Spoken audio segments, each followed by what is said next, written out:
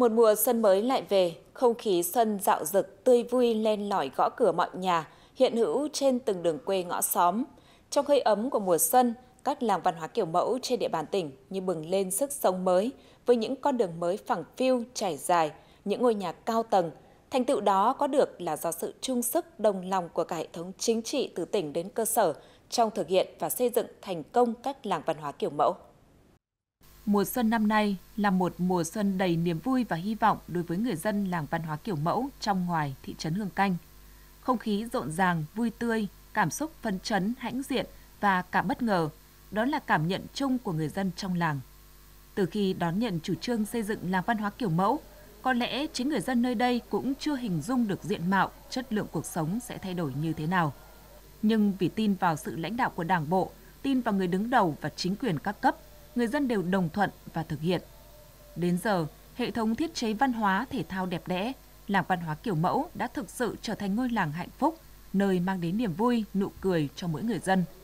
Mùa xuân này, người dân nô nức tập trung tại khu thiết chế văn hóa thể thao cùng nhảy múa, hát ca, cùng mong ước một mùa xuân mới về với niềm vui, sức khỏe và một năm kinh tế thêm khởi sắc. Được sự quan tâm ờ, của Đảng và Nhà nước đã đầu tư một nguồn kinh phí rất lớn cho ờ, tổ dân phố. Thì là đây là một cái niềm tự hào ờ, và vinh dự cho cái tổ dân phố chúng tôi. Là chúng tôi cũng rất được trước hết là cảm ơn cái sự quan tâm của lãnh đạo các cấp. Cái thứ hai nữa là trong cái vấn đề bảo vệ từ cái việc có được cái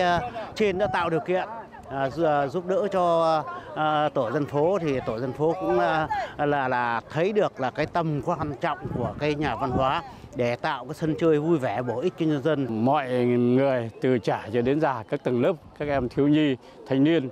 phụ nữ, rồi các ờ, ông bà cựu chiến binh cũng như là toàn thể các cụ, nhất là các cụ ờ, cao tuổi. Từ ngày có nhà văn hóa của làng văn hóa kiểu mẫu là các cụ đến đây là Ờ, với cái tinh thần là rất phấn khởi và ờ, buổi sáng hôm nào các cụ cũng có mặt rất đông đủ để mà tập thể dục dưỡng sinh. Tết năm nay rất lạ lẫm đối với người dân thôn Đồng Bùa, xã Tam Quan, huyện Tam Đảo, bởi thôn giờ đây đã trở thành làng văn hóa kiểu mẫu. Làng lại được đón nhiều vị khách đặc biệt là các em học sinh tới cùng trải nghiệm hương vị Tết xưa với bà con đồng bào dân tộc.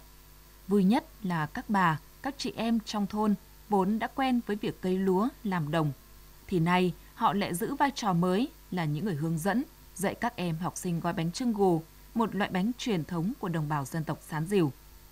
Cả làng văn hóa kiểu mẫu đồng bùa nô nức vui vẻ khi mùa xuân về, sự lan tỏa một tinh thần yêu đời, yêu người qua những giai điệu sọng cô. Cái không gian à, rất à, sạch đẹp mà từ trước đến nay, năm nay mới làm được cái nhà văn hóa được à, đẹp như thế này chúng tôi sẽ giữ gìn cái à, nét văn hóa của dân tộc chúng tôi càng ngày có là tiến bộ hơn. À, chuyến đi này con cảm thấy rất là hạnh vui ạ, tại vì uh, lần đầu tiên những uh, cậu bé thành phố như con có trải nghiệm được làm bánh trưng, được ngồi cạnh những cái uh, mâm bánh trưng rất là lớn và có trải nghiệm được gói bánh trưng. Khi những cánh hoa đào đặc trưng của mùa xuân miền Bắc đang đua nở, trên những con đường cờ hoa tung bay phấp phới, mầm xuân đang đâm chồi nảy lộc, căng tràn sức sống. Nghe đầu đầy những câu hát giọng cô đang vang vọng tô điểm cho mùa xuân thêm dạng người, tươi sáng. Một mùa xuân mới hứa hẹn nhiều đổi thay trên các làng văn hóa kiểu mẫu tại Vĩnh Phúc.